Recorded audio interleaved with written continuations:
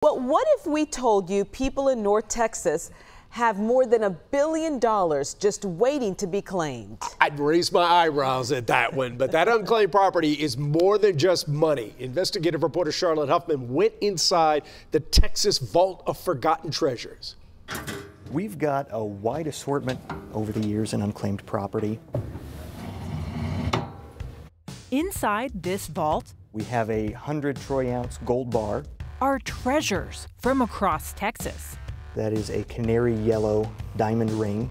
Pricey jewelry, diamonds, Rolexes, valuable relics, too. Everything from a very, very old math book to the interesting stuff. A lock of John Lennon's hair right there. All of it sits inside a vault owned by the state of Texas, waiting for its rightful owners to claim it. It's called unclaimed property. You've probably heard of it. Back in the day, the state used to run ads in the back of the newspapers. Let's say a relative suddenly dies, leaving family members unaware they have a safety deposit box at the bank. After a few years, the bank ships the contents of the safety deposit box here to the state's unclaimed property division in Austin, where the goods are unpackaged, inventoried, and get this if no one claims it, the state actually auctions it off here on eBay.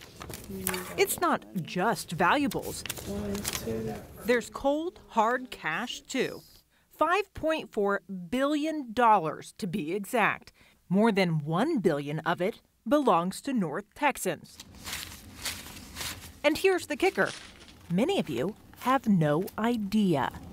It just floored us because people don't even think about looking. I didn't think about looking. The money comes from things like abandoned savings accounts, overpayments on utility and medical bills, and refunds or rebates owed to customers.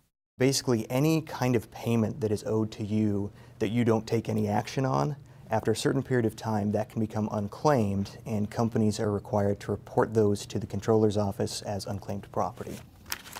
Then it's transferred to the state's general revenue fund. It's up to Texans to go onto the state's website, search their names to see if they have any, and then file a claim to get it back. I think the most valuable individual claim we paid was over $12 million to a single person.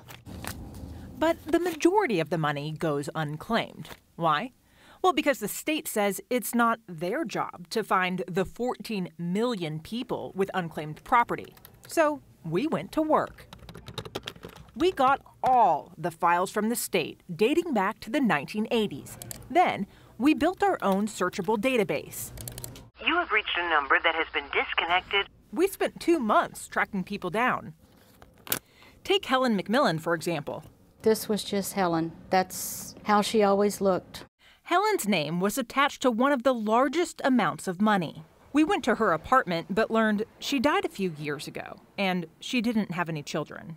But we did find a report from the medical examiner's office. It lists a woman named Nancy as next of kin. At this house in Mansfield is where we found Nancy. that smile. It just was Helen. She had no idea how much money her cousin left behind for the family until we showed up. Here is Helen McMillan. There's two listings here for Helen. One of them is half a million dollars, $472,000. So it's uh, total shock after all this time because we thought everything was taken care of. And it was kind of a good shock. Then there's artist Ryder. I felt like it was a blessing. Who doesn't need some money? Ryder's sister in law died suddenly a few years ago. We tracked Ryder down to tell her that the state has $8,714 in a death benefit waiting for Ryder's family to claim it. Actually, wait a second. She was a teacher at DISD, right? Right. There's another $2,000 from wages. So, oh, and look, $286 in a utility deposit left over. Wow. So actually, we're talking about more like $11,000. That's good to know. Both families can now file claims to get their money back from the state. The largest pile of money we found is $2.6 million. This Arlington man left it behind for his family. There's 111,000 for the city of Dallas and 12,000 for Hall of Famer Pudge Rodriguez. Rodriguez has another one. Not that he needs it. In all, the people we talked to say they only wished they'd known about this money years ago. It was a total shock. We wasn't that hard to find. Y'all found us, and we cannot thank Channel 8 en- enough. I do pray that y'all find all those people on, you know, that list. Well, we'll keep at it. Until then, don't think the state is going to come knocking on your door. All those billions of dollars are going to remain in the state's bank account. And all that bling? Here, behind closed doors. Well, so far, our investigative team has tracked down more than a dozen people and we've connected them with almost $600,000. Okay, so you're probably wondering, have I got any money? You can go to WFAA.com slash unclaimed property right now to find out. Now, here's the caveat. We're told the process to claim it can be a bit of a pain. That's why we've got a step-by-step video to help walk you through the process. And if you find some money, hey, we want to hear about it.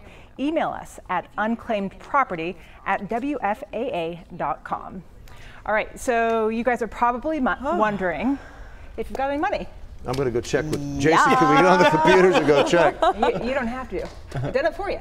Chris, No. Oh, really? Oh, Chris, wow. I'm sorry though, I've got nothing for you. Okay.